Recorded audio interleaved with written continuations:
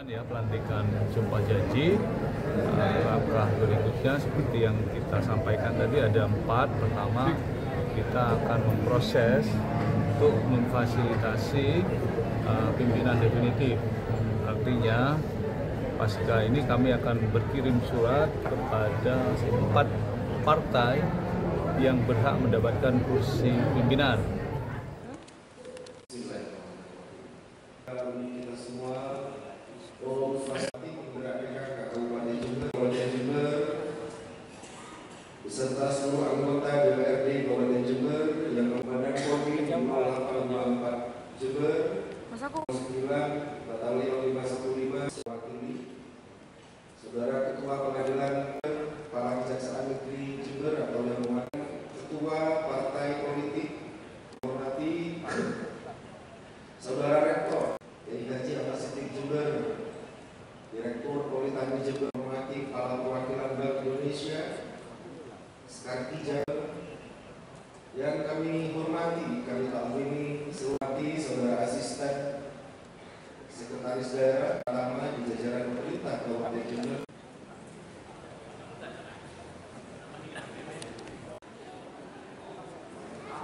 berdasarkan keputusan Gubernur Jawa Timur nomor 011.2 garing 2024 tentang peresmian pemberhentian anggota Dewan Perwakilan Rakyat Daerah Kabupaten Jember masa bakti 2019 nomor 100.3.3.1 garing 8 2024 tanggal 19 Agustus 2024 tentang peresmian pengangkatan anggota sumpah atau janji saudara sebagai anggota DPRD Kabupaten Jember masa bakti masa jabatan tahun 2024 demi Allah saya bersumpah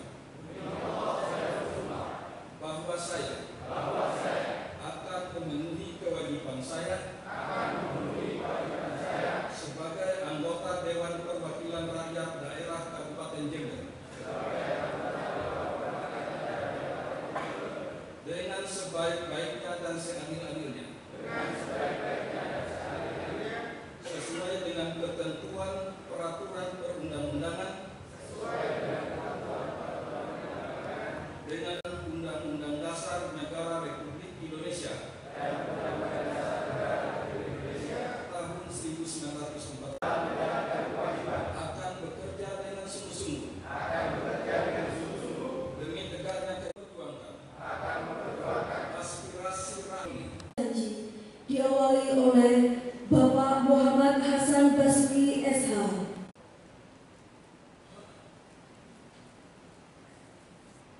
Selanjutnya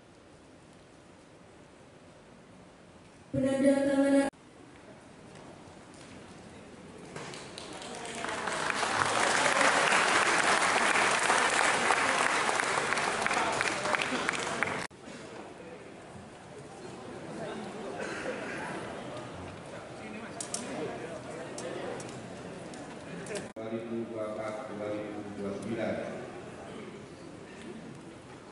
Habis berapa dana kampanye sehingga bisa terterima?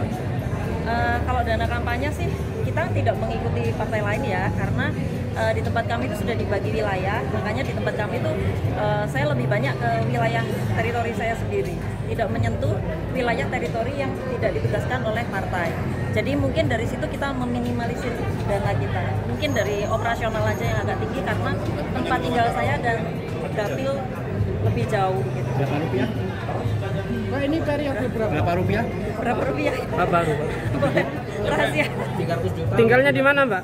Nah, saya tinggalnya di Sumbersari Berapa rupiah? Untuk apa ini Ya tadi itu untuk dana kampanye. Kampanye tadi dana kampanye. Dana kampanye alhamdulillah kita APK punya sendiri. Jadi mungkin eh, lebih banyak untuk membantu akomodir kebutuhan memasang banner, terus kemudian konsolidasi karena kebetulan di dapil saya itu timnya banyak ibu-ibu jadi lebih hemat gitu. Berapa? Berapa ya? Perlu sebut nominal. Ya boleh enggak apa-apa.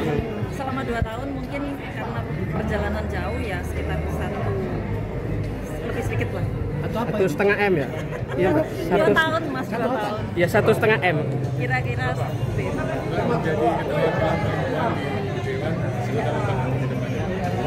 menjadi keterwakilan perempuan di dewan gimana mas perempuan di dewan ini eh, eh, tentunya saya ingin mengajak semua teman-teman yang perempuan baik dari fraksi mana pun untuk eh, satu permasalahan di bawah itu sebetulnya sangat kompleks banget terutama perempuan dan anak.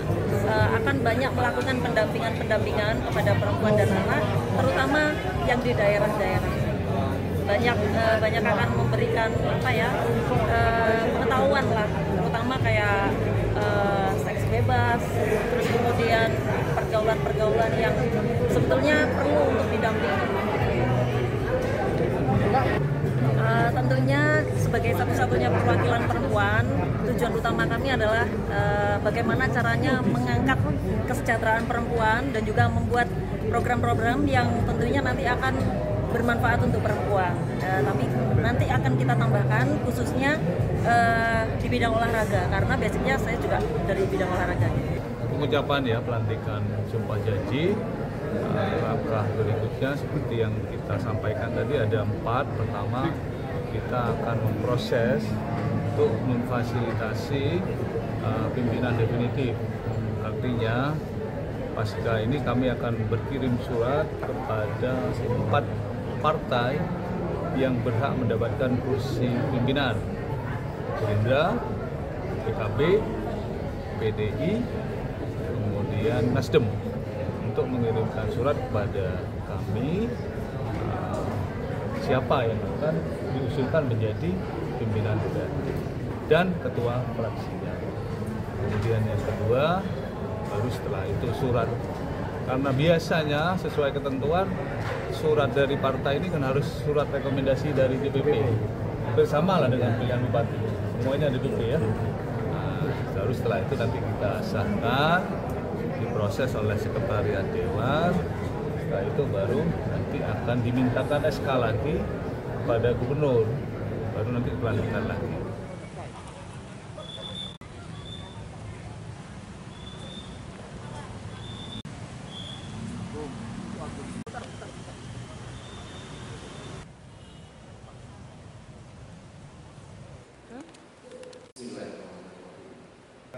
kita semua Om Sasti Penggerak Kabupaten Jember Kabupaten Jember beserta